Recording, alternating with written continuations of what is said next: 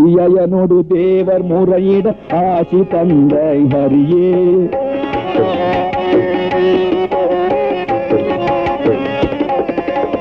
ஆதியனோடு தேவர் முறையிட ஆசி தந்த ஹரியே என் ஆவி பிரிவுறும் வேளை விரைவினில் அளவருகிற வருகிற ஆதியனோடு தேவர் முறையிட ஆசி தந்த ஹரியே என் ஆவி பிரிவுறும் வேளை விரைவினில் ஆள வருகிற ஹரியும். ஓலம் இடும் கஜராஜன் விடுபட ஓடி வந்த ஹரியே ஓலமிடும் கஜராஜன் விடுபட ஓடி வந்த ஹரியே. ஓலமிடும் கஜராஜன் விடுபட ஓடி வந்த ஹரியே. ஓதும் அடியவர் நாவில் உரைப்பட ஊறி உரைகிற ஹரியே. ஓதும் அடியவர் நாவில் உரைப்பட ஊறி உருகிற ஹரியே ஹரியே. ஆதியனோடு தே முறையிட ஆசி தருகிற ஹரியே. என்ன அழகான பேர் தெரியுமா அவனுக்கு? ஹரி.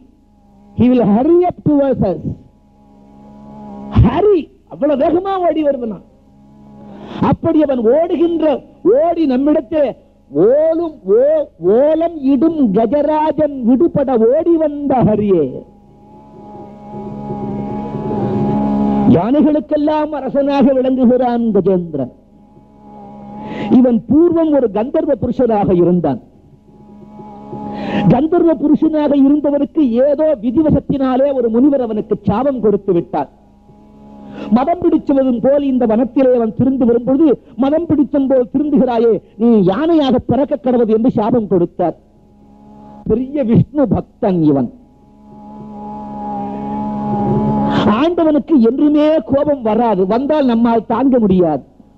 மகன்கள் கோபிக்க மாட்டார்கள் கோபித்தாலும் காடு கொள்ளாது சாது மிரண்டால்.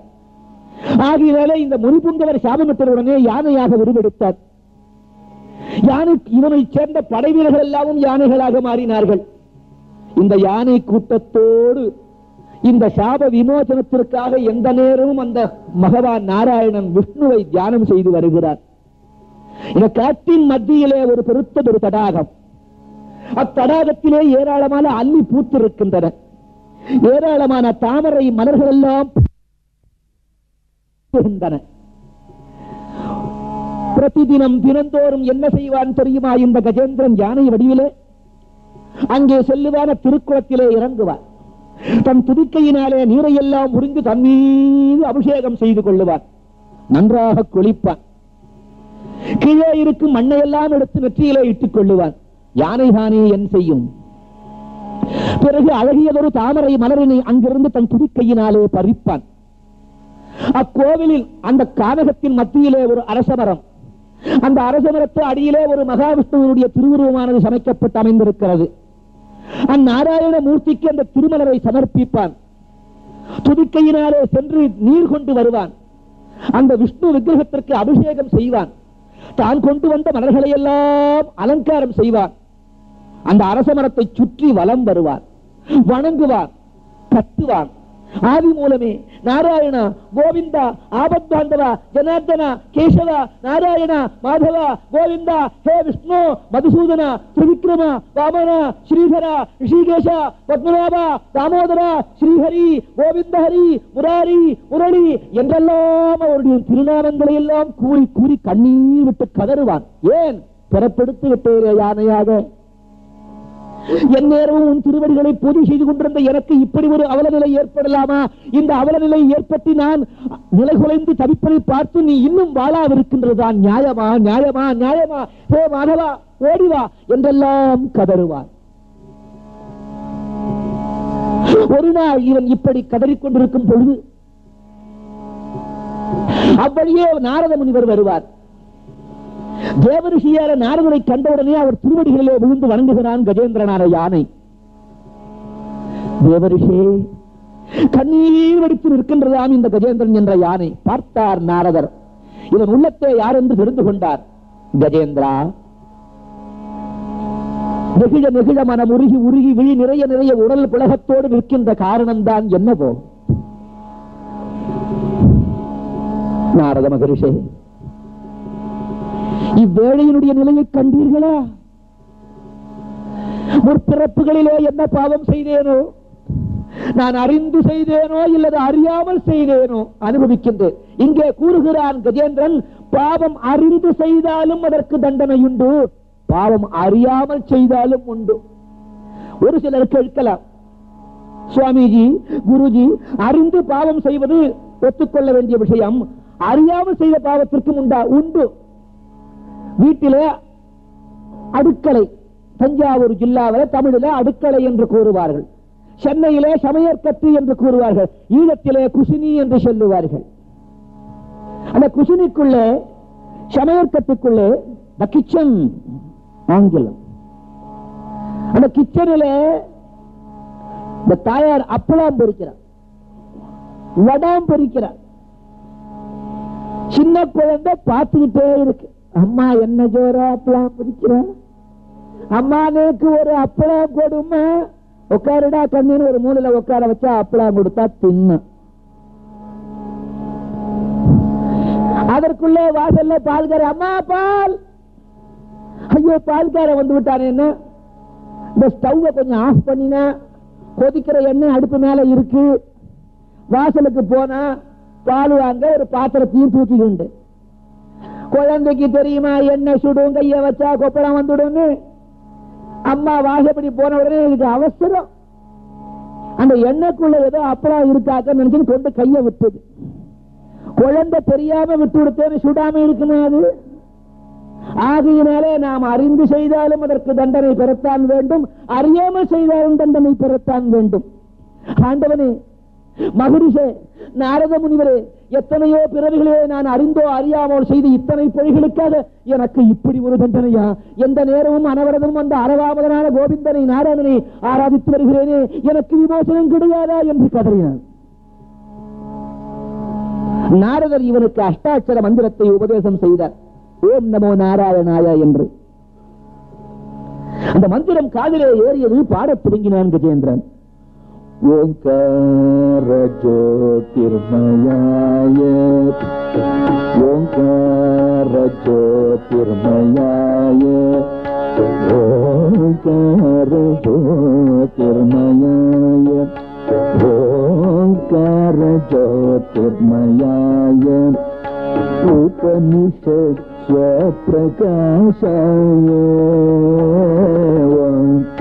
ஜோதிர்மயாய ஓங்கார ஜோதிர்மயாய उपनिषत् स्वप्रकाशाय ओङ्कार ज्योतिर्मयाय उपनिषत् स्वप्रकाशाय उचितात्मनन्द भवाय उचितात्मनन्द भवाय ॐ नमो श्रीनारायणाय ஓம் நான் ஓம் நமோ ஸ்ரீ நாராயணாயன்னு சொல்லுவேன் நீங்க எல்லாரும் சொல்லணும். அந்த கஜேந்திரனுக்கு கிடைத்த நல்ல பதவி நமக்கும் கிடைக்கும். எல்லாரும் சொல்றல ஓம் நமோ நாராயணாய.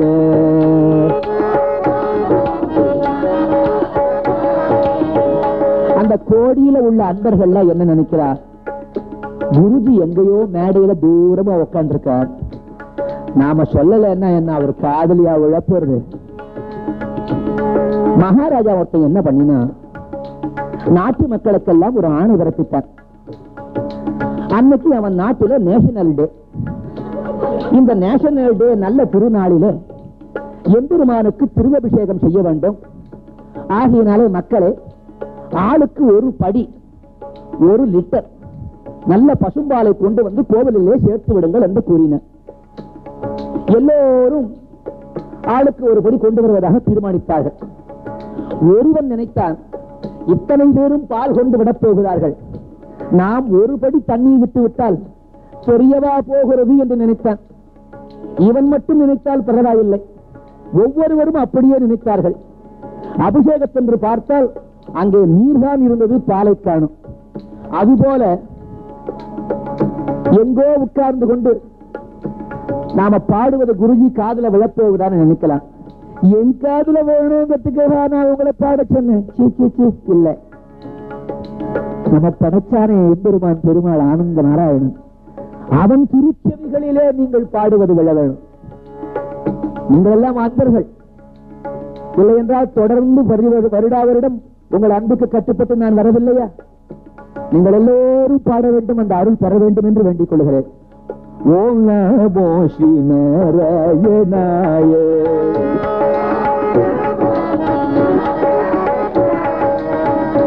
ஓம் நமோ ஸ்ரீ நாராயணாய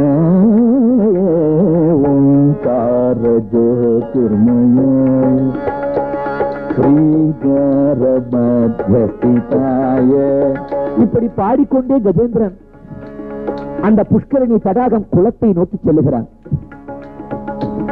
श्रीकार मध्यस्थिताय श्रीकार मध्यस्थिताय इह पर सुख प्रदाय विभवत्सल्यकरणाय विभवत्सल्यकरणाय ॐ नमो श्रीनारायणाय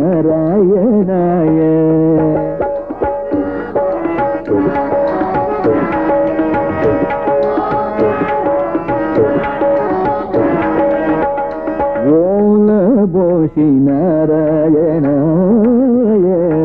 प्रपन्न पापहराय प्रपन्न पापहराय प्रपंचीत सूत्रधराय प्रपन्न पापहराय प्रपंचीक सूत्रधराय भवजलधी తారక భవజలధి తారక ప్రభు నమో నారాయణాయ ప్రభు నమో నారాయణాయ ప్రభు నమో నారాయణాయ ప్రభు నమో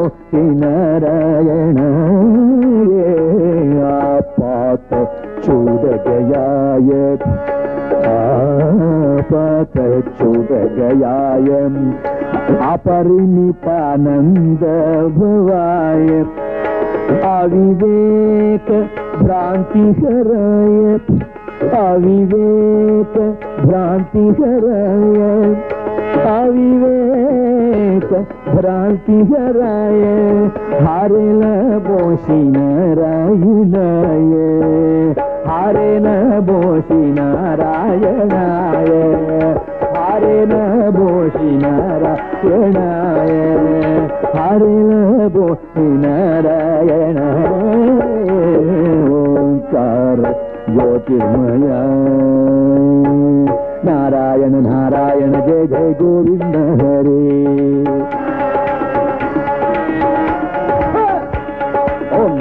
நாராயண நாராயண ஜெய ஜெய கோவிந்த ஹரி.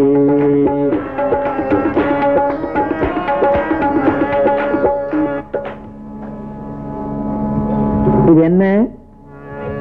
என்ன கை? சரியா. இந்த கை நமக்கு எது குத்துருக்கான் அவன் நாமத்தை சொல்ல தாளம் போடுதானே. சொல்லலாமா நாராயண நாராயண ஜெய ஜெய கோவிந்த ஹரி. ஹோ ஓம் நாராயண நாராயண ஜெய ஜெய கோவிந்த ஹரி ஹரி ஹரி நாராயண ஓம் நாராயண நாராயண ஜெய ஜெய கோவிந்த ஹரி ஹரி ஹரி ஹரி ஹரி நாராயண நாராயண ஜெய ஜெய கோவிந்த ஹே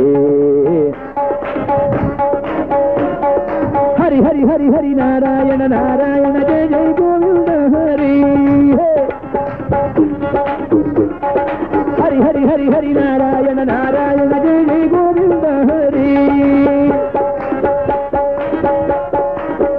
ஹரி ஹரி நாராயண நாராயண ஜெய ஜெய கோவிந்த ஹரி ஹரி ஹரி நாராயண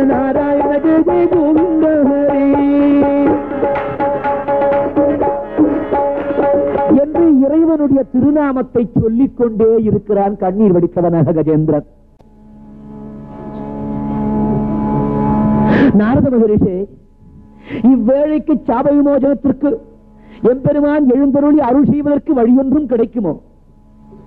கஜேந்திரா யானையர் கூட்டத்தின் தலைவனை எம்பெருமானுடைய திருநாமத்தை உன்னுடைய செவிகளிலே உச்சரித்து விட்டேன். நீயும் புலகாங்கிலம் அடைந்து விட்டாய். அவனுடைய திருநாமத்தை சொல்லிக் கொண்டே இரு. உண்டாலும் உறங்கினாலும் எந்த நிலையிலும் அவனை நினைந்து கொண்டே இரு. அவனால் உனக்கு கிடைக்கும். இன்று முதல் தொடர்ந்து அவனுடைய நாமத்தை நீ ஜெபம் செய்வதோடு அல்லாமல் ஆயிரத்தெட்டு தாமரை புஷ்பங்களினாலே நீ அவனை அர்ச்சனை செய்வாயானால் உனக்கு சாபை மோசனம் கிடைக்கும் என்று கூறினார். ஆண்டவனே ஆயிரத்தெட்டு மலர்களினாலே நான் அவனை அர்ச்சித்து விடுவேனானால் அந்த அறவாமதனுடைய தரிசனம் எனக்கு கிடைக்குமா? கஜேந்திரா அந்த சீவன் நாராயணனுடைய பெருமையை பற்றி உனக்கு சொல்லுகிறேன் கேள். ஆக்கல் காத்தல் அழித்தல் அத்தனை தொழில்களுக்கும் மூலப்பொருளாக விளங்குகிறவன். இருப்பினும் கார்க்கும் தொழிலையே தன்னுடைய முத்- பெரும் தொழிலாக கொண்டவன். உலகத்திலே பிரம்மதேவன் படைத்து விடலாம். காத்து ரட்சிப்பதற்கு ஒரு திருமூர்த்தி இல்லை என்றால் எங்க நம் சாத்தியமாகும்? கண்ணா கார்மேக வண்ணா மணிவண்ணா என்றெல்லாம் அவனை அழைத்து விட்டால் போதும் ஓடி வந்து விடுவான். கவலைப்படாது. நிச்சயமாக அவனுடைய அருள் உனக்கு கிடைக்கும். எப்படியாவது தொடர்ந்து ஆயிரத்தெட்டு மலர்களை நீ அவனுக்கு அர்ச்சனை செய்துவிடு என்று கூறினார். இவர் கூறிய நாளுக்கு அப்புறம் என்ன நிகழ்ந்தது? இவன் வழக்கமாக சென்று குளிக்கக்கூடிய அந்த திருக்குளம் இருக்கிறது அல்லவா அங்கே ஏராளமான தாமரை மலர்கள் பூத்து கிடக்கும். சரி நிச்சயமாக ஆயிரத்திற்கு மேல் தாமரை மலர்கள் இருக்கும். ஆகையினாலே எல்லா மன்னர்களையும் ஒன்றாக பறித்து இந்த ஒரே நாளிலே அர்ச்சித்து விடுகிறேன். நிச்சயமாக அந்த நாராயணன் என் முன் தோன்றி விடுவான். அவன் அருள் எனக்கு கிடைத்துவிடும். அந்த எம்பெருமானுடைய தரிசனத்தை நான் பெறுவேன் என்று வெகு வேகமாக நாரதரை வணங்கிவிட்டு திருக்குளத்தை நோக்கி ஓடினான். குளத்தின் கரையிலிருந்து குளத்தை நன்றாக ஒருமுறை பார்க்கிறான். ஏராளமான தாமரை மலர்கள் பூத்து கிடக்கின்றன. ஆஹா. நாராயணா ஆபத் பாந்தவா அநாதலட்சகா ஆயிரத்தெட்டு மலர்களினாலே உன்னை அர்ச்சித்து விட்டால் எனக்கு சாப விமோசனம் கிடைக்கும் என்று நாரத மாமுனிவர் புகழ்ந்து விட்டார். நிச்சயமாக நான் இப்பொழுதே இத்தனை மலர்களையும் எடுத்துச் செல்வேன் என்று தீர்மானித்தவனாக என்ன செய்தான்? யானை உரு கொண்டதினாலே அருவு முதிர்ச்சி இல்லாமல் போய்விட்டது. இத்தனை மலர்களையும் பறிப்பதற்கு இதனுடைய மூலத்தன் அந்த வேர் இருக்கிறதே அந்த வேரோடு ஒரு முறை கலைந்து விட்டால் அப்படியே செடியோடு குளத்தின் வெளியிலே எடுத்து விடலாம். எல்லா மலர்களையும் கொண்டு அர்ச்சித்து விடலாம் என்று தீர்மானித்தவனாக தன் துதிக்கையை விட்டு குளத்திற்குள்ளே இறங்கினான். இறங்கி தேடு தேடு என்று தேடுகிறான் வேறுபாகம் கிடைக்கவில்லை. நடுக்குளத்தில் செல்ல வேண்டும் என்றால் சேறு நிற- சகதி நிறைய இருக்கிறது கால் மாட்டிக்கொள்ளும். ஒரு காரியம் செய்வோமே மேலாக உள்ள கொடியினை பற்றி இழுப்போமானால் அப்படியே எல்லாம் வந்துவிடுமே என்று ஒரு கெட்டியான திறமான திடமான கொடி ஒன்றை பிடித்து இழுத்தார். இவன் இழுக்கின்ற இடத்திலே ஒரே ஒரு தாமரை மலர் இருக்கிறது.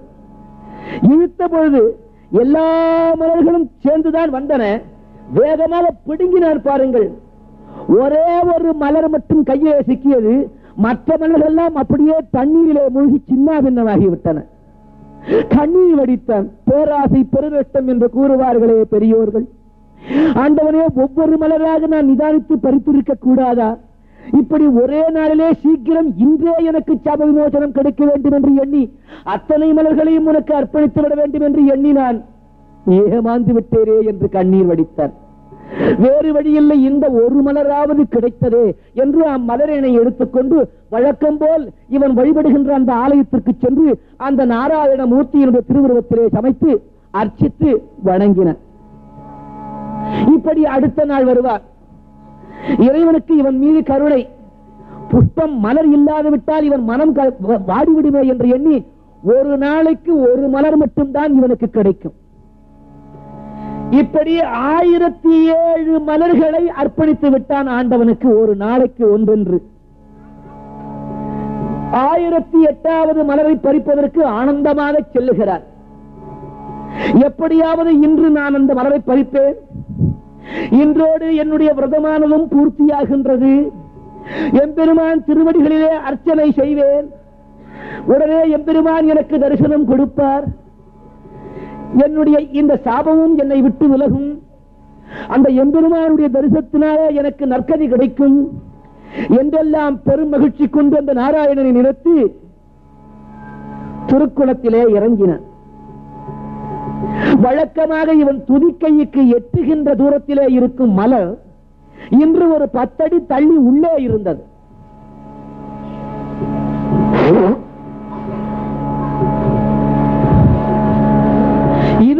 இருக்கும் பொழுது இக்காட்டை எல்லாம் சுற்றி வரும் பொழுது ஒரு அரக்கன் என்று திகழ்கிறான் இந்த அரக்கனுக்கு எப்படியோ தெரிந்து விட்டது. இந்த கஜேந்திரன் நாரணனை வந்திக்கிறான். நாரணன் வந்து விடுவான். நாரணன் இக்கானகத்தை வருவானானால் ஒருவேளை நாம் இருப்பதை தெரிந்து அரக்கர்களை எல்லாம் வதம் செய்கின்ற அந்த நாரணன் என்னையும் உழைத்தாலும் உழைத்து விடுவான். அந்த நாரணன் வராது இருக்க வேண்டும் என்றால் இவன் ஆயிரத்தெட்டாவது மலரை அர்ச்சிக்காமல் இருக்க வேண்டும் என்று தீர்மானித்தவன் முதலை வடிவம் கொண்டு அத்திருக்குளத்திலே இறங்கிவிட்டான். கஜேந்திரன் ஆயிரத்தி எட்டாவது மலரை பறிக்க வேண்டும் என்று ஆவலுடன் குளத்திலே இறங்கினான? மலர் கைக்கு எட்டும் தூரத்திலே இல்லாமல் ஒரு பத்தடி சற்றே தள்ளி இருந்தது. இறங்கினான். ஒரு அடி எடுத்து வச்சான். கைக்கு எட்டல. இன்னும் அடி எடுத்து வச்சான். எட்டவில்லை. இப்படி கொஞ்ச தூரம் எட்டி அந்த மலரினை பறித்தான். பறிக்கின்ற பொழுது இந்த அரக்கன் முதலை வடிவிலே இருந்தவன் குளத்தின் அடிவடியாக வந்து யானையினுடைய அந்த காலினை பற்றி கொண்டான். முதலைக்கு எப்பொழுதுமே நீருக்குள் இருக்கும் பொழுது பலம் அதிகம். அது யானையே பெருத்ததொரு மதம் பிடித்த கொழுபிடித்த யானையாக இருந்தாலும் சரி முதலை நீருக்குள்ளே இருந்துவிட்டால் பத்து யானை பலத்தை அது பெறுகின்றது. அதுவும் இவன் அரக்கன? முதலை வடிவம் எடுத்தான? இந்த கஜேந்திரனுடைய கால்களை பற்றி இழுத்தான். என்னமோ காலை கப்பி இழுக்குகிறதே என்று சற்று யோஜனை செய்தான். காலை ஒருபுறமாக நிறுத்தி மற்ற மூன்று கால்களை சேற்றிலே ஊன்றிக்கொண்டு பிடிக்கப்பட்ட காலினை தூக்கினான். பார்த்தால் முதலையினுடைய வாய் தெரிந்தது. எவ்வளவோ சிரமப்பட்டான். எப்படியாவது இந்த மலரை கொண்டு ஆண்டவனுடைய திருவடிகளை அர்ச்சித்து விட வேண்டும். இன்றோடு எனக்கு சாப விமோசனமும் கிடைக்க வேண்டும் என்று எண்ணியவனாக வெகு பலமோடு தன் பலம் முழுதையும் செலுத்தி பார்க்கிறான். முடியல. அந்த முதலையோ கொஞ்சம் கொஞ்சமாக இழுக்கிறது. கஜேந்திரன் மெல்ல மெல்ல அதை சேத்திலே புதைந்து நீருக்குள்ளே வந்து கொண்டிருக்கிறான் இன்னும் ஒரு வினாடி தப்பினால் இவன் முழுமாக மூழ்கி விடுவான் கரையேற முடியாது. முதலை யானையை கொன்று தின்றுவிடும். மூச்சு முட்டுகின்ற நேரத்திலே அதுவரையும் இவனுக்கு நாராயணனுடைய நினைப்பே வரவில்லை. தன் பலத்திலே ஒரு பெருமை. தன் பலத்தை நினைத்துக் கொண்டிருக்கிற வரையில் அவனால் கழண்டு வர முடியவில்லை. இனிமேலும் என்னால் ஆவது ஒன்றுமில்லை. அட்டுவித்தால் அடுகின்றேன் அடியவருடன் கூட்டுவித்தால் கூடுகின்றேன். இச்சிறிய நாள் ஆவது என்னே என்ற நிலையிலே வந்துவிட்டேன். ஆண்டவனே இத்தனை நேரம் நான் மதம் பிடித்த யானை என்று நினைத்தேன். யானை பலம் உலகத்திலே யாருக்கும் இல்லை என்பது எனக்கு தெரியும். இந்த யானையர் கூட்டத்திற்கே நான் ராஜாதிராஜன் தலைவன் மன்னன் என்ற இருமாப்புடன் இருந்தேன். என்னுடைய பலத்திலே எனக்கு நம்பிக்கை இருந்தது. எப்படியாவது இந்த முதலீடு தப்பித்துக் கொள்ளலாம் என்றெல்லாம் தீர்மானித்தேன். ஆண்டவனே என்னால் இயலவில்லை என்று தீர்மானித்தான் ஒரு கணம் தப்பினாலும். இவன் உயிருக்கு ஆபத்து வேற ஒன்றும் செல்லவில்லையாம் ஆதி மூலமே என்று கத்தினான். வைகுண்டத்தில் எம்பெருமான் மகாலட்சுமியுடன் சுக்கட்டான் ஆடிக்கொண்டிருக்கிறான் விளையாடிக் கொண்டிருக்கிறான் ஆதி மூலமே என்ற சப்தம் காதல் விழுந்தவுடனே மகுடத்தை தூக்கி தலையில் வைத்துக் கொள்ளவில்லை. மேல் அங்க வஸ்திரத்தை தூக்கி போட்டுக் கொள்ளவில்லை. நாம் அப்படி இருப்போமா? வாயிலே வாசல்ல நம்ம வீட்டு வாசல்ல எவனுக்காவது ஏதாவது ஒரு ஆபத்து ஐயா ஐயா ஏதோ தெரிஞ்சு கொள்ள இருக்கு கொஞ்சம் இருங்க வந்துட்டேன். உள்ள போய் பனி எல்லாம் போட்டு சொக்கா போட்டு கண்ணாடிக்கு முன்னால போய் எல்லாம் பண்ணிட்டு ரிஸ்ட் வாட்ச் எல்லாம் இவன் ஆள் க்ளோஸ் ஆண்டவன் அந்தனம் இல்லை. மகுடம் எடுத்து வைக்கவில்லையா? மலரிட்டு வரவில்லையா? ஆதி மூலமே என்று கேட்டவுடனே வெகு வேகமாக இருந்த நிலையை அப்படியே விட்டு விட்டு ஓடி வருகிறார். அந்த நேரத்திலே வாசலிலே கருட பகவான் இருக்கிறார். ஆண்டவனே என் மீது ஏறிக்கொள்ளுங்கள். உன்னை காட்டிலும் நான் அவசரமாக போக வேண்டும். கருடன் மீது ஏறுவதற்கு கூட நேரம் இல்லையா அப்படி பறந்து வருகிறான் என்பருவான் காத்து ரட்சிக்க அப்பொழுது நாம் அந்த நிலையிலே செல்ல வேண்டும் என்றால் இப்பொழுதிருந்தே பழகி கொள்ள வேண்டும் நம்முடைய பலத்தில நமக்கு மதிப்பு இருந்தால் ஏமாந்து விடுவோம். நமக்கு அப்பாற்பட்டது ஏதோ ஒன்று நம்மை ஆட்டி வைக்கிறதே அந்த பலத்திலே நம்பிக்கை வேண்டும். கஜேந்திரன் தன்னுடைய பலத்திலே தான் அவனுக்கு எண்ணம். இனிமேல் ஒன்றும் முடியாது என்று தெரிந்து கொண்டவுடனே ஆதி மூலமே என்று அரவாபுதனை அழித்தார். திரௌபதி இருக்கிறாளே பாஞ்சாலி. ஒருத்தன அவளுக்கு புருஷன் ஐந்து பேர்.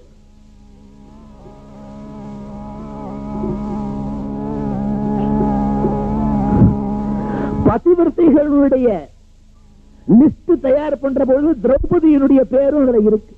தாரா மண்டோதரி சீதா அருந்ததி திரௌபதி. இந்த ஐந்து பேருடைய பேரை தினம் ஒரு முறை சொன்னா போரும் நினைச்சா போருமா? மீண்டும் பிறப்பு எடுக்கிற நோட்டு புத்தகத்துல நம்ம பேர் இருக்காது. பஞ்சகன்யாம் ஸ்மரேது. தாரா மண்டோதரி சீதா அருந்ததி பாஞ்சாலி. திரௌபதி ஒரு சந்தேகம் எல்லாருக்கும். இருக்கலாம். கணவன் ஒருவனை அடைந்து தன் கணவன் தன் மணாளன் தன் புருஷன் தனக்கு தாலி கட்டியவனை தவிர கனவிலும் பிறருடைய நினைப்பு வராதவள்தானே பதிவிரதை மண்டோதரி கூறினீர்கள் ஒத்துக்கொள்ளுகிறோம். இருந்தால் அவருடைய புருஷன் ராவணன் லங்கேஸ்வரன். சீதையினுடைய கணவன் ராவன் அருந்ததியினுடைய கணவன் வசிஷ்டர். இப்படி இவர்களுக்கெல்லாம் ஒரு கணவன் தானே இருக்கிறார்கள். திரௌபதிக்கு ஐந்து புருஷர்களாயிற்றே இவள் எப்படி திரௌபதி என்று கேட்கலாம். ஒரு பொம்பளைக்கு ஐந்து புருஷர்கள் இருக்கலாமா? திரௌபதிக்கு புருஷன் ஒரே ஆள் தான் ஆனா புராணத்தில் நம்மை ஏமாற்றுவதற்கு ஒரு ஐந்தை நுழைத்திருக்கிறார்கள். நமக்கு தத்துவ விளக்கம் கொடுப்பதற்காக புராணங்கள் ஏற்பட்டிருக்கின்றனவே தவிர ஐந்து புருஷன்கள் என்று எண்ணக்கூடாது. இந்த ஆத்மா இருக்கிறதே நம்முள்ளே. அதுதான் பரந்தாமன் நம்முடைய மனம் இருக்கிறதே. அதுதான் திரௌபதி. இந்த ஐம்புலன்கள் இருக்கின்றனவே இந்த ஐம்புலன்கள் தான் பஞ்சபாண்டவர்கள். இந்த ஐம்புலன்களுக்கு அடிமையாக நாம் இருக்கிறோம். ஒரு நாள் இந்த ஐம்புலன்களும் நம்மை கைவிட்டு விடும். காது கேட்காது. கண் தெரியாது. வாய் பேசாது. மூக்கு நுகராது. மனம் எண்ணாது. இப்படி ஐவரும் கைவிட்டு விடுவர். அந்த நேரத்திலே அந்த ஆண்டவனை நினைத்தால் அவன் ஓடி வந்து நம்மை காப்பாற்றுவான் என்பதற்கு தத்துவ புராணம் பாஞ்சாலி புராணம். இவள் சிறு குழந்தை. திரௌபதி சின்ன குழந்தையாக விளங்கி வருகிறாள். துர்வாச மாமுனிவர் திருப்பத நாட்டிற்கு வருவார். பாஞ்சாலியை பெற்ற திருப்பத ராஜன் தன் மகளுக்கு மூன்று வயது திரௌபதி துர்வாச முனிவர் இந்த திருப்பதராஜனுடைய அரண்மனையிலே வந்து தங்குகிறார்.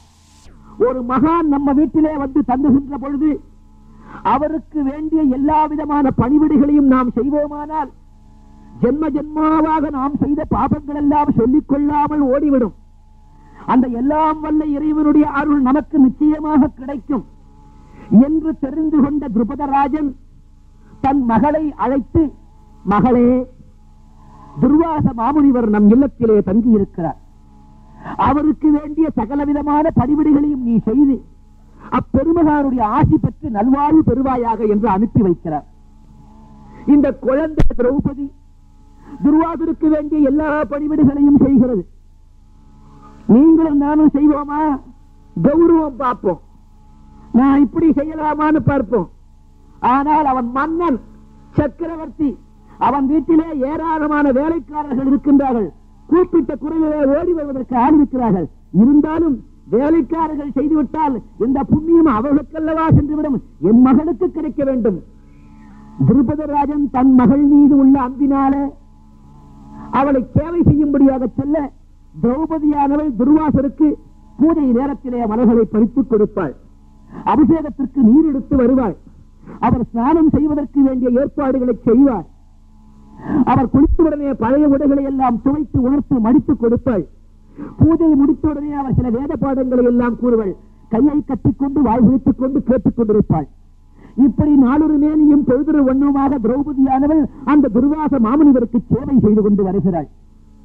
ஒரு நாளைக்கு இவர் கதை சொல்லிக் கொண்டே வருகிறார் எம்பெருமாளை பற்றி. அந்த நாராயணனை பற்றி கதை சொல்லுகிறார். கேட்டுக்கொண்டே இருக்கிறாள். இவனுக்கு நாளடைவிலே அந்த நாராயணனிடத்திலே எண்ணம் சிறந்து விட்டது நாராயணனை தவிர நான் வேறு யாரையும் நினைக்க மாட்டேன் என்று திடம் பூண்டாள் துர்வாசர் தன்னுடைய யாத்திரையை முடித்து திரும்பி செல்லுகின்ற நேரம். திரௌபதி குழந்தை இப்போது அவளுக்கு வயது ஐந்து. நமஸ்கரித்தார். மாமுனிவரே இவ்வேளைக்கு ஒரு சந்தேகம். பெண்ணே என்னம்மா சந்தேகம்? சுவாமி. எல்லாம் வல்ல பரம்பொருள் ஒன்று இருக்கிறது என்று இவ்வளவு காலம் நீர் கூறி வந்தீர்கள். பிறப்பு எடுத்தவன் என்றாவது ஒரு நாள் இந்த உடலை விட்டு மடிந்துதானே ஆக வேண்டும். என் நான் பெரிய சக்கரவர்த்தியினுடைய திருக்குமாரத்தியாக இருக்கலாம். நான் ஒரு பெரிய இடத்து பெண்ணாக இருக்கலாம். சகல சகல வசதிகளும் நிரம்பிய குடும்பத்திலே நான் பிறந்தவளாக இருக்கலாம். ஒரு நாள் நானும் செத்து மடியத்தானே வேண்டும். இந்த மாயையாகிய உலகிலே என் மனத்திலே நாட்டம் இல்லாமல் தங்கள் கிருபியினாலே எந்த நேரமும் அந்த நாராயணனையே நினைக்கும்படியான ஒரு அருளை பெற்றிருக்கிறேன். கண்ணி பெண்ணி உன் எண்ணம் உயர்வானது. என்ன தேவை? ஐயா நான் மனம் முடித்தால் அந்த நாரணனையே மனம் முடிப்பேன். இல்லை என்றால் இப்பூவுலகிலே பிறந்து இறக்கின்ற மானிட மானிடர்களை நான் மணக்க மாட்டேன். சிரித்தார் திருவாசர். திரௌபதி. ஏமா அந்த எல்லாம் வல்ல பரம்பொருளை மணப்பதென்பது அப்படி ஒரு சுலபமா? அந்த பரம்பொருளுக்கு உருவம் இருக்கிறது நீ நினைக்கிறியா? அருவம் அருவாய் இலதாய் உருவாய் உளதாய். உருவாய் அருவாய் உளதாய் இளதாய். அவன் இல்லாத இடமே இல்லை. புல்லாய் பூண்டாய் புழுவாய் பூச்சியாய். அவன் எங்கும் இருப்பான். நீ என்ன சந்தேகம்? கூறிவிடு. இந்த உலகம் அழிந்து போகக்கூடியது என்று கூறினீர்கள். ஒத்துக்கொள்ளுகிறேன் ஆனால் இந்த உடலும் அழிந்து விடப் போகிறது என்று கூறினீர்கள் அதையும் ஒத்துக்கொள்ளுகிறேன். ஆனால் இந்த உடலின் ஊடே தொக்கி இருக்கும் ஆன்மா அழுக்கு அழிவு உண்டா என்று கேட்டார் பெண்ணே ஆன்மாவுக்கு என்றுமே அழிவு கிடையாது. அது தோன்றியதும் இல்லை ஆகையினாலே அது மடிவதும் இல்லை. அது எப்பொழுதும் உள்ளது ஆன்மா. உன்னுள்ளே இருந்து உன்னை ஆட்டி வைக்கின்ற அந்த ஆன்மா. ஆன்மாவுக்கு அழிவு இல்லை. சுவாமி அப்படி என்றால் ஆத்மா என்று கூறுகிறீர்கள் பரமாத்மா என்று அவனை கூறுகிறோம். அந்த பரமாத்மா இந்த உலகத்தை படைத்திருக்கிறானே எல்லாமாக இருக்கிறான் ஆகையினாலே அவனை தேடி பிடித்து இந்த உலகம் முழுதும் பரமாத்மாவின் வடிவம் தானே என்றார் ஆம் பெண்ணே ஆமாம் இந்த உலகங்களை எல்லாம் படைக்குவதற்கு முன்னாலே ஆண்டவன் ஏதாவது ஒரு மூலப்பொருளை வைத்திருக்க வேண்டும் அல்லவா என்றார். ஆம். எந்த மூலப்பொருள்களை வைத்துக் கொண்டு இந்த உலகத்தை படைத்தான் என்று கேட்டாள். பெண்ணே நீ கூறுவது புரியும்படியாக கேள் என்றார். சுவாமி அதுபோல இந்த உலகத்தை படைக்கும் இறைவன் முதலிலே ஏதோ ஒரு மூலப்பொருளை தயார் செய்து கொண்டுதானே படைத்திருக்க வேண்டும். அம்மூலப்பொருள்கள் என்ன? எத்தனை? சபாஷ் திரௌபதி. அவன் மூலப்பொருள்களை உண்டாக்கி இருக்கிறான் நீர். நெருப்பு. மண்ணாகிய நிலம் காற்று ஆகாசம். இந்த பஞ்சபூதங்களை முதலிலே இறைவன் தோற்றுவித்தான். அதனுடைய சேர்க்கையை வைத்துக் கொண்டுதான் இந்த உலகங்களை படைத்தான். இம்மூலப்பொருள்கள் மொத்தம் ஐந்து. ஐந்துக்கு எங்குமே உண்டு. இன்று எத்தனை சரித்திரம் படிக்கிறவர்களுக்கு விளங்கலாம்? ஜியாகிரபி படிக்கிறவர்களுக்கு விளங்கலாம்? எத்தனை கண்டங்கள் இருக்கின்றன உலகத்திலே? ஐந்து கண்டங்கள். அதாவது நமக்கு தினம் ஏற்படுற கண்டம் அதல்ல. நித்திய கண்டம் பூரணாயுசுங்கிறானே அதல்ல. தேசங்கள் நாடுகள் ஆறுகள் ஏரிகள் என்று கூறுவது போல கண்டங்கள் ஐந்து. புலன்கள் ஐந்து. இந்த அளவிலே பூதங்கள் ஐந்து. பஞ்ச பூதங்களை தோற்றுவித்தார். சுவாமி அப்படி என்றால் பஞ்சபூதங்களிலே நெருப்பாக இருப்பது யார்? நீராக இருப்பது யார்? நிலமாக இருப்பது யார்? காற்றாக இருப்பது யார்? ககனமாக இருப்பது யார்? திரௌபதி நீராக இருப்பதும் அவனே. நிலமாக இருப்பதும் அவனே. நெருப்பாக இருப்பதும் அவனே. காற்றாக இருப்பதும் அவனே. ககனமாக இருப்பதும் அவனே. போரும் சுவாமி. இந்த ஐந்தையும் நான் என்னுள்ளே அடக்கி விடுவேனானால் அவனை நான் மணந்து கொண்டது போல்தானே? ஆகையினால் நான் இந்த ஐந்தையும் மணந்து விடுவேன். ஐந்தையும் மணந்து விட்டால் நான் அவனையே மணந்ததற்கு ஒப்பாகும். என்று தவமிருந்தால் நீராக விளங்கும் பெருமானே நீ எனக்கு கணவனாக வர வேண்டும். நிலமாக விளங்கும் பெருமானே நீ எனக்கு கணவனாக வர வேண்டும். நெருப்பாக விளங்கும் பெருமானே நீ எனக்கு கணவனாக வர வேண்டும். காற்றாக விளங்கும் பெருமானே நீ எனக்கு கணவனாக வர வேண்டும். தகனமாக விளங்கும் பெருமானே நீ எனக்கு கணவனாக வர வேண்டும் என்று ஐந்து முறை வேண்டினாள். நீரினுடைய பிரதிநிதியாகவும் நெருப்பினுடைய பிரதிநிதியாகவும் காற்றின் பிரதிநிதியாகவும் ககனத்தின் பிரதிநிதியாகவும் நிலத்தினுடைய பிரதிநிதியாகவும் தோன்றியவர்கள்தான் பாண்டவர்கள். இறைவனே அப்படி ஒரு திருவவதாரம் எடுத்தார். இந்த ஐவரையும் தன்னை மணாளனாக்கிக் கொண்டாள். காரணம் அந்த ஐவரும் ஏதோ தனித்தனி ஆட்கள் என்று நிற்க வேண்டாம் இறைவனுடைய அம்சம் பொருந்தியவர்கள். ஆகையினாலே இவள் மணந்து கொண்டது எல்லாம் வல்ல இறைவன் ஒருவனையே. எப்படி திருவாடிப்பூர திருத்தினத்தின்று சூடிக் கொடுத்த கோதை விராட்டியால் அந்த ரங்கநாதனை சேர்ந்து மணந்தாரோ அந்த அளவிலே பாஞ்சாலியானவள் எம்பெருமானை இந்த ஐந்து வடிவங்களிலே ஆவாகனம் செய்து மணந்து கொண்டாள். ஆகையால் அவள் உத்தமிகளுள் உத்தமியாக விளங்கினாள். அப்பேற்பட்ட திரௌபதியை துரியோதனன் தன் தம்பியான துச்சாதனனை அனுப்பி பற்றி இழுத்து வரச் சொல்லுகிறான் நடுச்சபைக்கு. ஏன்?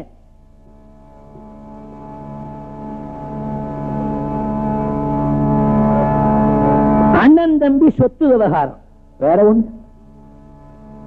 இப்ப நாமெல்லாம் என்ன செய்யறோம் கோர்ட்டுக்கு போறோம். அப்பெல்லாம் கோர்ட் இல்ல அவன் அவன் தீர்மானம் பண்ணிக்குவான். இவனே மன்னன். இவனே மாமன்னன். இவன் நாட்டிலே ஏதாவது குற்றங்கள் புரிந்தால் இவனிடத்தில் தான் விசாரிக்க வேண்டும். இவனே இவனை விசாரித்துக் கொள்ளுவானா? இவன் வைத்ததே சட்டம். நடுச்சபையிலே நிற்கிறாள் திரௌபதி. தர்மன் பீமன் அர்ஜுனன் நகுலன் சகாதேவன். இந்த ஐவரும் மிக பராக்கிரமசாலிகள் பலம் பொருந்தியவர்கள். ஐவரும் சுற்றி நிற்கிறார்கள். துச்சாதனன் பிடித்து இழுத்து வருகிறான் கேசத்தை பிடித்து நடுச்சபையிலே. இவளை மானபங்கம் செய்ய வேண்டும் என்று இவளுடைய புடவையை பிடித்து துயிலுரிக்க துவங்குகிறார். இரண்டு கரங்களினாலேயும் தன் மார்பினை மூடிக்கொண்டாள்.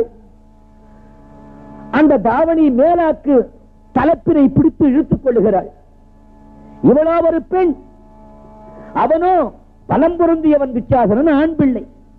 அவன் பலத்திற்கு முன்னால் இவள் பலம் எங்கே? கதறினாள். பீஷ்மாச்சாரியரே நியாயமா? இதோ பாருங்கள் நட்ட நடுச்சபையிலே என்னை மானபங்கப்படுத்துகிறார்களே. இதை பார்த்துக் கொண்டிருக்கிறீர்களே உமக்கு நியாயம் தெரியாதா? சத்தியம் தெரியாதா? நேர்மை தெரியாதா? இந்த பெண்ணை அவலையாக கவிக்கிறேனே காப்பாற்றுங்கள் என்று கதறுகிறார்.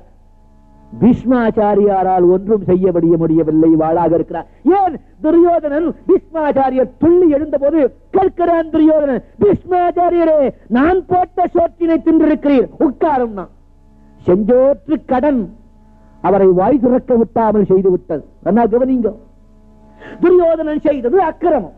துச்சாசனன் செய்தது அக்கிரமம். இப்படி அவன் அக்கிரமம் செய்தாலும் இந்த சபையிலே உள்ள நல்லவர்களும் வாய் மூடிக்கொண்டிருந்தார்களே ஏன்? அவன் வீட்டு சோற்றை தின்ற காரணம். செஞ்சோற்று கடன். ஒருவர் வீட்டிலே நாம் உணவருந்து விட்டால் மரணம் சம்பவித்தாலும் அவர்களுக்கு நாம் தீங்கு நினைக்க கூடாது என்று புராணத்திலே பாரதம் சொல்லிக் கொடுக்கிறது நமக்கு.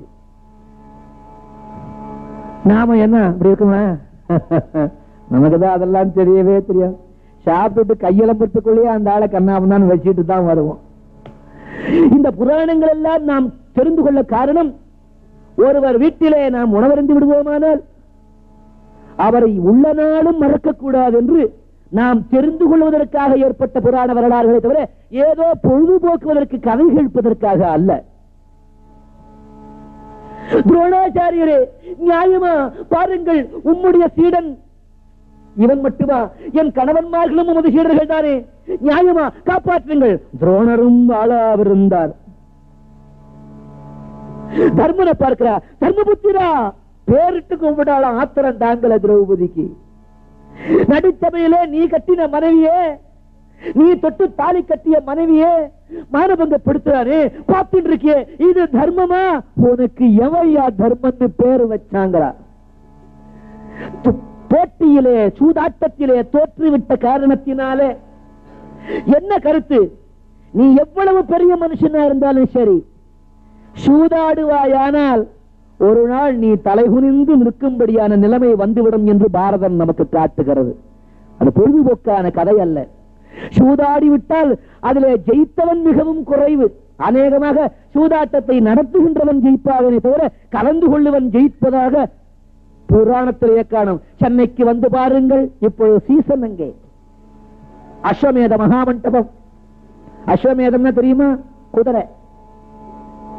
குதிரை ரேஸ் கிளப் உள்ள இடம் எது தெரியுமா? இந்த லொக்காலிட்டிக்கு பேரு கிண்டி. அங்க போனவன் திரும்பி வரைச்ச கிண்டி தான் எடுத்துக்கணும். சாமியாரா போனோம் வேற வழி இல்லை. எல்லாம் தொலைச்சிட்டு வந்துருவான். ஆக சூதாடு சூதாடுகின்ற நிலைமை ஒருவனுக்கு வருவானால் இவன் ஒரு நாள் எல்லாவற்றையும் இழந்து தலைகுனிந்து நிற்கின்ற அவரை கட்டிய மனைவியையும் பறிகொடுக்கின்ற நிலை வந்துவிடும். உன்னால் ஒன்றும் செய்ய முடியாது என்று பாரதம் நமக்கு அறிவுரை கூறுகிறது. தர்மன் வாழாக இருந்தான். பீமசேனா பராக்கிரமசாலியே ஆயிரம் யானைகள் வந்தாலும் ஒரு கரத்தினாலே தூள் தூளாக ஆக்கக்கூடிய பலம் பொருந்தியவரே பார்த்து கொண்டு நிற்கிறாயே அப்பா. என்ன நியாயம்? நான் உன் மனைவி இல்லவா அர்ஜுனா நகுலா சகாதேவா எடுங்கள் உன் காண்டிவத்தை எடுங்கள் உங்கள் அத்த சத்தங்களை எடுங்கள் உங்கள் வில்லை. அத்தனை பேரும் வாழாக இருக்கிறார்கள். காரணம் சூதாடி தோற்றார்கள்.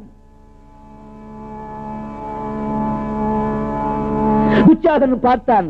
ஏண்டி திரௌபதி? ஏனடி பஞ்சாலி? பீஷ்மனை அழைத்தாய் துரோணனை அழைத்தாய். ஏன்? என் தந்தை திருதராஷ்டனையும் கேட்டாய். என் தாய் காந்தாரியிடத்திலே கதறினாய். உன் கணவன்மார்களை கூப்பிட்டாயே யாராவது இப்பொழுது உனக்கு துணை இருக்கிறார்களா? புரிந்து கொள். என்ன செய்ய இழுக்கிறான். பார்த்தா யாராவது உனக்கு துணை இருக்கிறார்களா? அப்பொழுதுதான் இவளுக்கு கண்ணனுடைய நினைப்பு வந்தது. ஒரு கையினாலே அந்த தலைப்பை பிடிச்சுக்கின்றார்.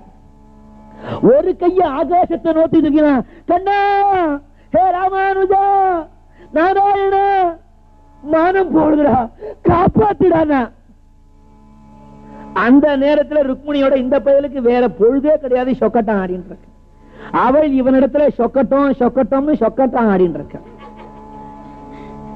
ருக்மணியினுடைய செவிகளிலே விழுந்தனவாம் திரௌபதி கதறுகின்ற அந்த கத்தல். சுவாமி பரமாத்மா திரௌபதிக்கு மாறும் போகுது எழுந்து போ. நீ ஆட்டம் ஆடு. கண்ணா இது என்ன நியாயம்? பரம பக்தே பரம பதிவிருத்த உத்தமி கதறா எழுந்து போயே. இங்க பாரு இப்ப உன் ஆட்டம். நீ இப்ப தோக்கிற மாதிரி வந்திருக்க. ஆகினால எங்க தோற்று போய் விடுவோமோன்னு என்னை எழுப்புறியா? பிரபு உனக்கு விளையாட்டுக்கு ஒரு அளவே கிடையாதா? வந்து விளையாடுகிறான் நான் கட்- காய்கள்லாம் நகுத்தாம அப்படியே வச்சிருக்கேன். சற்று போய் திரௌபதியை பாரேன். யாரம்மா திரௌபதி? கேட்கிறான். தெரியாதா இவனுக்கு? திரௌபதியா? கிருஷ்ணா திரௌபதியா? பாஞ்சாலிடா திருபதராஜனுடைய பெண் பஞ்ச பாண்டவர்களுடைய பத்தினி. ஓஹோ! இந்த காட்டுக்கெல்லாம் போனால போறாள அவளை சொல்றியா நீ? கண்ணா இப்பதான்டா புரியுறது உன்னை ஊரு ஊரா கோவில்களுக்குள்ள கல்லுனால பண்ணி வச்சிருக்கான். இந்த கல்லுனால பண்ணி வச்ச காரணம் தெரியாம இருந்தேன். உன் மனம் கல் உன் நெஞ்சம் கல்லு என்று புரிந்து கொண்டேன். மானம் பறிபோகிறதே என்று கதறுகிறாள். இங்க நீ இப்படி வம்பு பேசிட்டு இருக்கே. நியாயமா? போ ருக்மணி. அதோ பார் என்று காட்டுகிறான் ருக்மிணி கண்களிலே திரௌபதி பரதவிப்பு தெரிகிறதா ஐயோ என் கண்ணு முன்னால தெரியுது துச்சாதனை இழுக்கிறானே ஐயோ பாவம். ஏய் கிருஷ்ணா என்ன மாதிரி அவளும் ஒரு பெண்ணு. எனக்கு இந்த நிலை ஏற்படுமானால் நீ சும்மா இருப்பையா? போ போ போ காப்பாற்று. ருக்மிணி அவ என்ன பண்றா பாரு? ஒரு கையினாலே தன்னுடைய புடைய பிடிச்சு இழுத்துட்டு இருக்கா. ஒரு கையினா தூக்கி என்ன கூப்பிடுறா. அவளுக்கு இன்னும் தன் பலத்துல நம்பிக்கை இருக்கு. அது போகட்டும் அப்புறம் நான் போறேன்.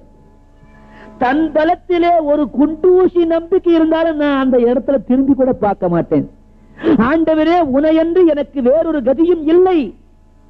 என்று இரு கைகளையும் தூக்கி சரணாகதி பரிபூரண சரணாகதி அடைந்தாலொழிய நாம் திரும்பி பார்க்க மாட்டோம். அதுதான் நம்முடைய குணம்.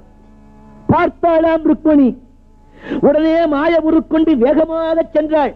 யார் கண்ணிலும் படாமல் திரௌபதியினுடைய காதலே போனாள். அடி பெண்ணே அசட்டு பெண்ணே என் வீட்டுக்காரன் கிருஷ்ணனை கூப்பிடு கூப்பிடு கூப்பிடுறியே.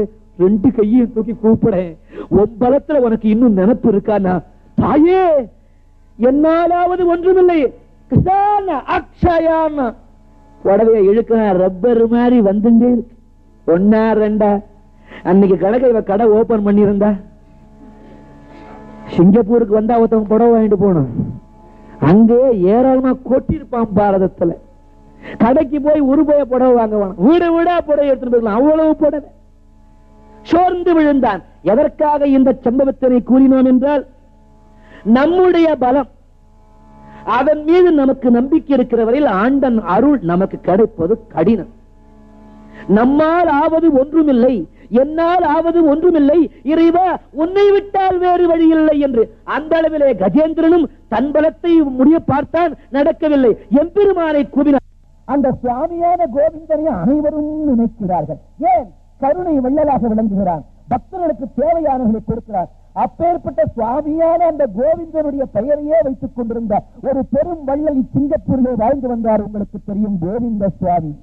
அந்த கோவிந்த சுவாமி சுவாமியான கோவிந்தனுக்கே அவர் பிள்ளை. கோவிந்த சுவாமி பிள்ளை.